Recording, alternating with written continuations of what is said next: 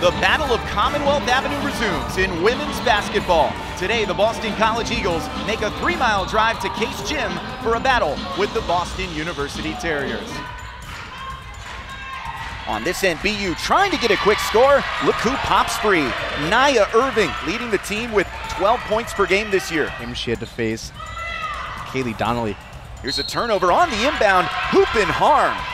Taylor Soule, nice finger roll. Irving thought about popping the shot. Now a three ball again from the freshman Pina, and she's got the triple. Creates a lot of chances for herself.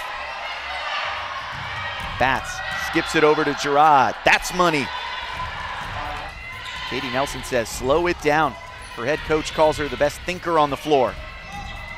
Outthinks Batts that time on a left-handed drive. They'll finally head back home coming up on Friday.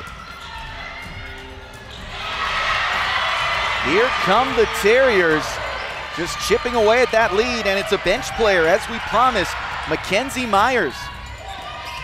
BU alum and head coach Marisa Moseley said, we've got to be more prepared for what teams are throwing at us.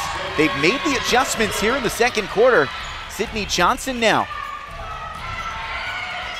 Oh, what a pass. Right down Broadway to Soule, off the glass and in. Two Boston-based schools that have gone some years without playing each other. It's been a closely contested matchup.